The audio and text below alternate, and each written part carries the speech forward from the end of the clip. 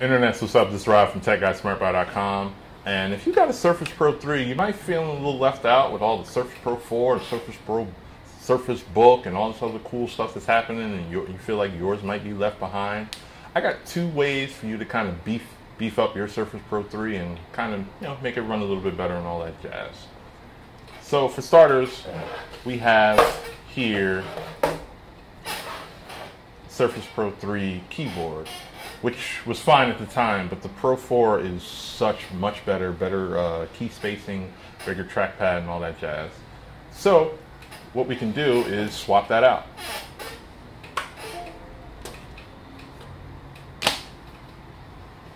Boom. So here we have the Surface Pro 4 signature type cover made with Alcantara. It's not alpaca, it's some sort of premium kind of finish.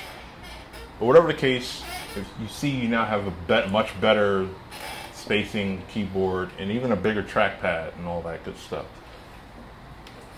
So another way is that, you know, you have great space and you may run out. I mean, you could always grab a hard drive and all that has.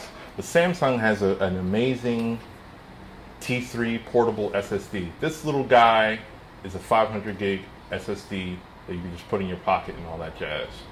Uh, it has USB-C to USB-A, and you can just plug in so if you're if you're doing like extensive work like Adobe, any Adobe work, uh, Premiere, all that jazz, you can just save it on this guy and kind of spare your space, or if you have any space left on your Surface, and still retain the speed of an SSD.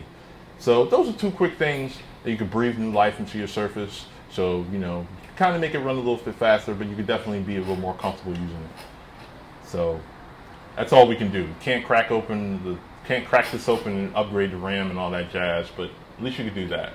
It's something, right? As always, don't forget to like, share, and subscribe. We appreciate you for doing so, and thanks for watching.